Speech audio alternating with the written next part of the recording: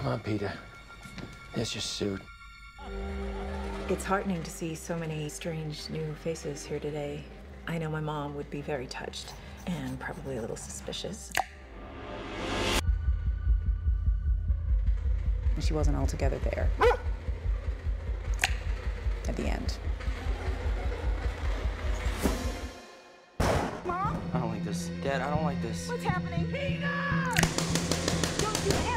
Don't you ever raise your voice at me! I am your mother! Mom, what's happening? Make it stop! Make it stop! I just don't want to put any more stress on my family.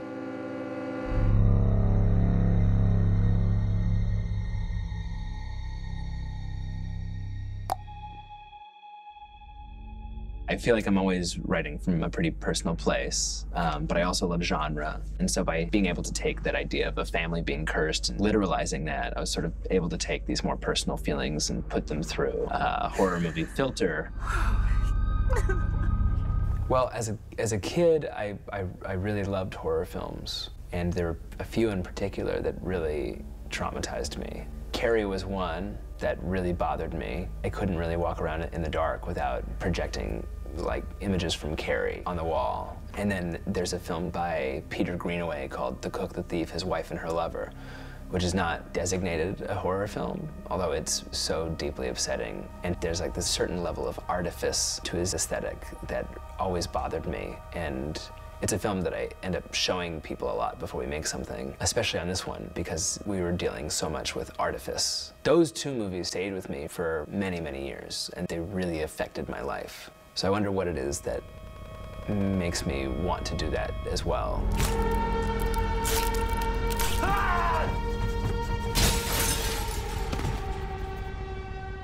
Hereditary is about a lot of things. I think ultimately it's about inheriting family trauma. It's about what you take from your family or what's thrust upon you and how you deal with it. The narrative ultimately is about a family dealing with a lot of uh, grief and the extremes to which they go. It's incredible. It's incredibly written, and I think Ari is so well prepared and so meticulous about all of his choices and what he wants. I mean, he had this film edited in his mind possibly two years ago.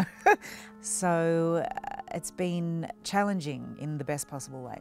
For me, this was always a film that was a family drama first. So I wanted to make a film that was very firmly rooted in this very complicated family dynamic. And they go through these very horrible things, and over the course of the film, everything just sort of unravels into a nightmare. I just want to die! Horror films are much more upsetting and frightening if you are invested in the characters. It was always just very important to me that these were people that you cared about so that when things happen to them, it's not just spectacle, but it feels like a betrayal.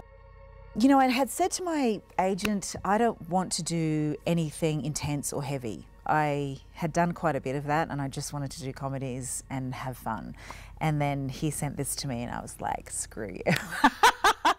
um, because I love it. I love the story so much. I couldn't put it down. It is uh, an incredibly textural, layered, complex family drama, which then will surprise you with where it goes.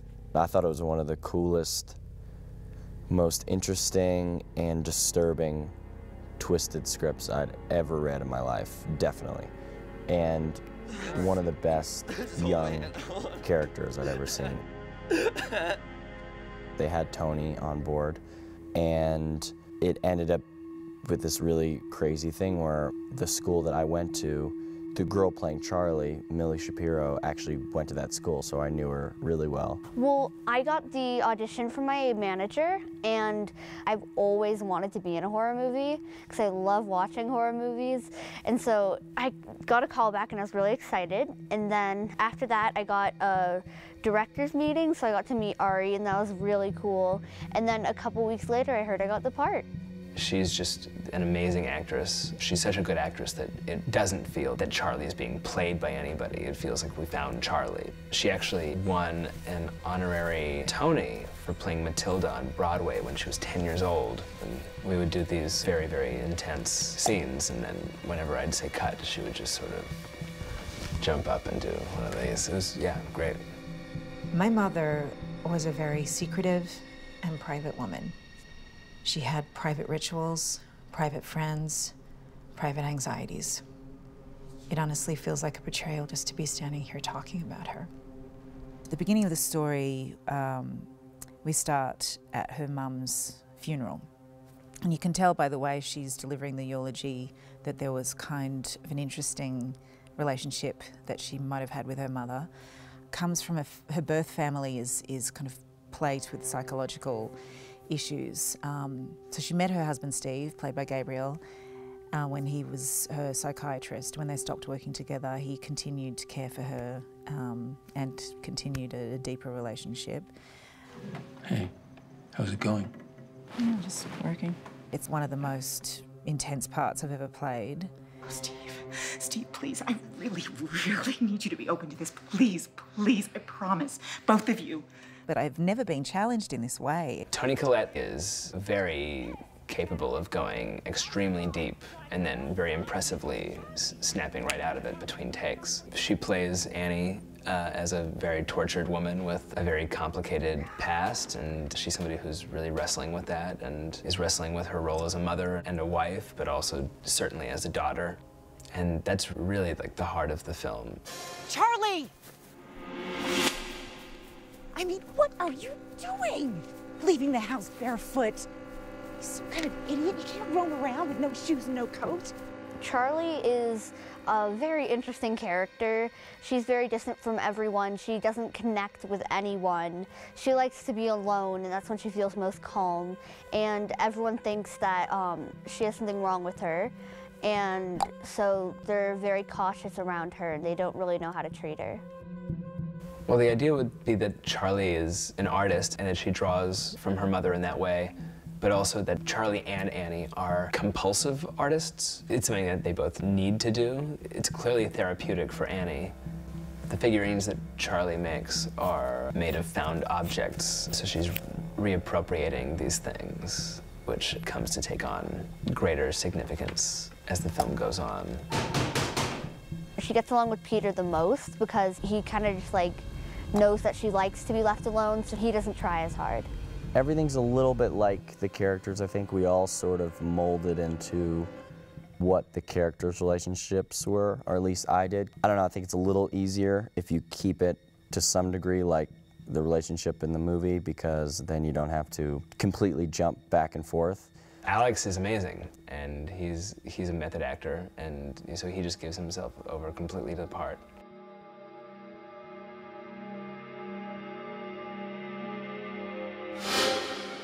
I didn't talk to him as Alex from the first day of shooting to the last. Um, and you'll be asleep from set. Thank you, Peter. Roll it up. And on the last day of shooting, he introduced himself to the whole crew as Alex for the first time. It was like a dangerous level of commitment. I read the script, so I knew that it was requiring a lot. I just didn't understand what it would do to your psyche or whatever it makes it easier to have Ari. The reason I can do it is because of Ari and because of just having uh, these people who are encouraging you and are saying it's okay to go there.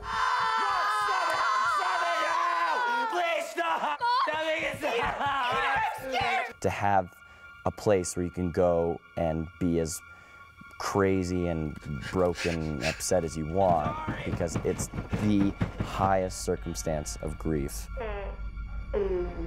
Peter's relationship with Steve is much more um, uh, civil and sweet. I think they have an understanding with each other. So I think he looks to Steve as his best person, but really I think Peter feels a little alone in the wilderness. The base or the structure of the story isn't horror.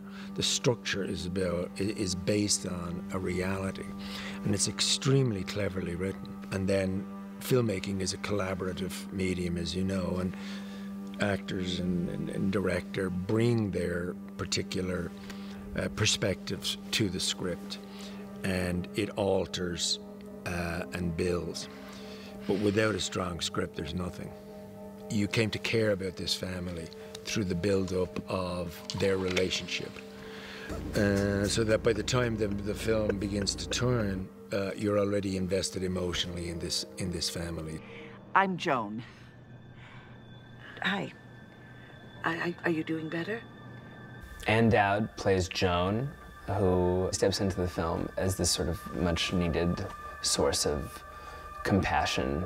Ann Dowd is naturally just one, one of the warmest people, and she was able to find in Joan that maternal warmth, but then she was also excessive about it, and, and obviously where the film goes, it's, you know, there's something deeply Machiavellian about her character and was just very exciting to watch, uh, even just as a physical actress, just the way that she invades Annie's space and just sort of is constantly touching her in a way that's both sorely needed by Annie and, and also laced with red flags. I think sometimes when you work on something so kind of heavy and intense, you have to balance it out with a little bit of levity on set. So it's fun, and sometimes it has to be so hyper focused because the story demands it. And that's great to be able to, to work in that kind of environment where everyone's so respectful of what's going on. Rolling. Mark. Action. Who's gonna take care of me? Um, excuse me, you don't think I'm going to take care of you?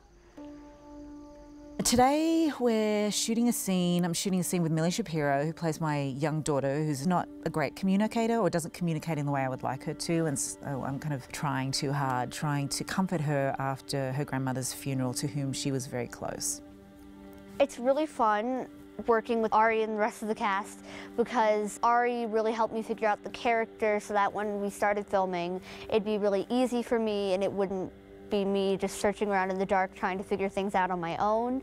And the other actors are very experienced in film, so it's very nice for me because they're welcoming me into this world that I've never been in before very kindly and helping me figure things out, which I find really cool. There's a scene where my character has a nightmare. At first, it feels even more nightmarish because at first you can't tell if it's a nightmare or not. It feels quite realistic, but then it definitely becomes a nightmare. And the moment you really realise it's a nightmare is when both um, Peter and Annie are completely drenched in paint thinner. So in between takes, you know, people are coming in and literally just pouring water all over us while we're fully dressed.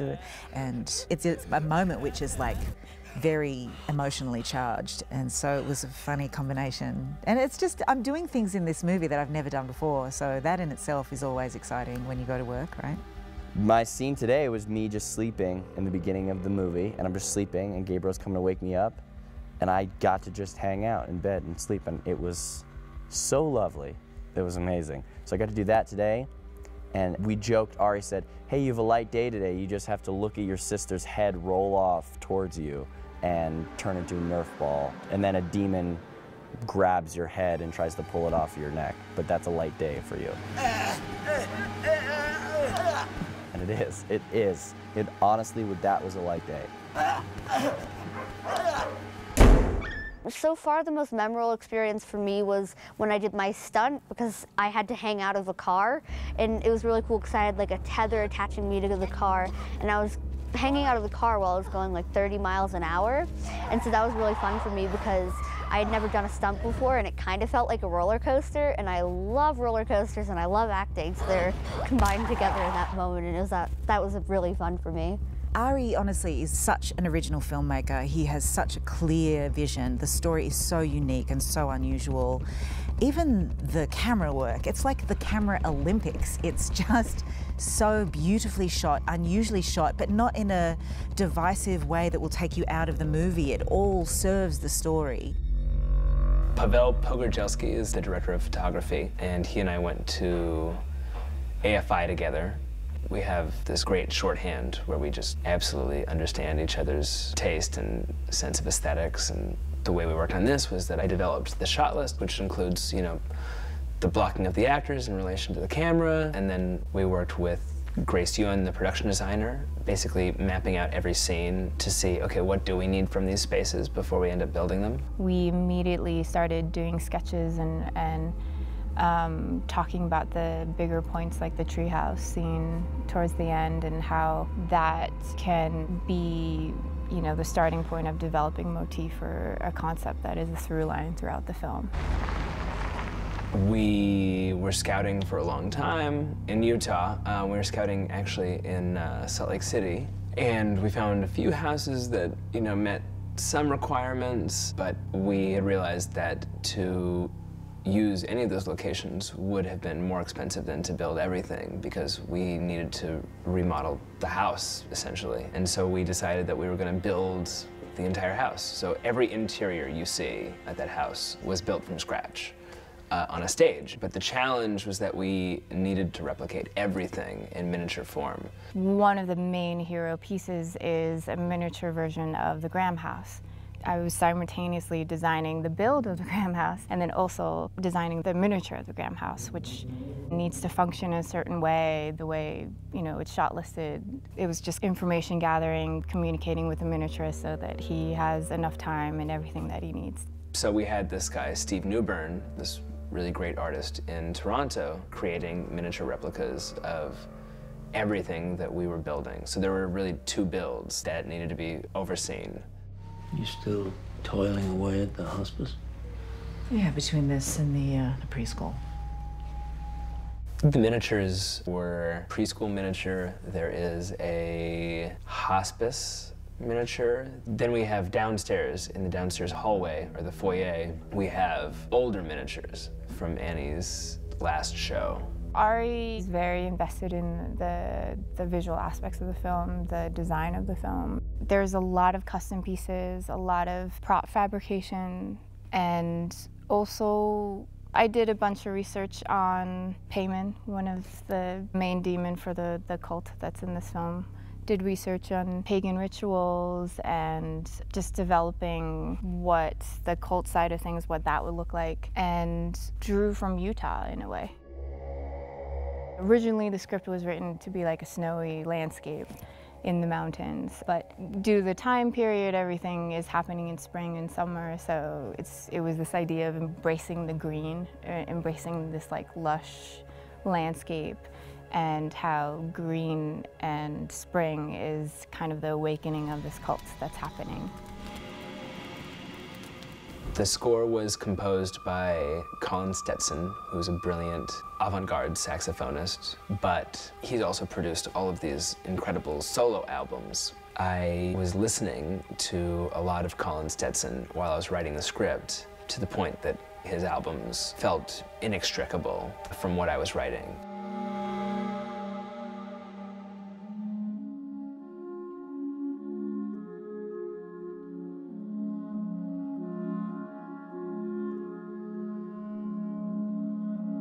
I sent him um, the coronation theme, Zadok the Priest, which is this very ecstatic, exultant music. And so that was used uh, as temp.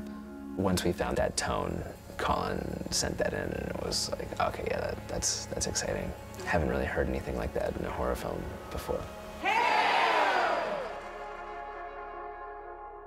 I think that Ari is the real deal. I think he is using the horror convention to make points about family, about connection, about love, about fear. I think it's an exciting film because uh, a lot of it is so unexpected. People ultimately want want something new. They want to be surprised. They want to be moved, it, it, and it is incredibly moving and incredibly surprising.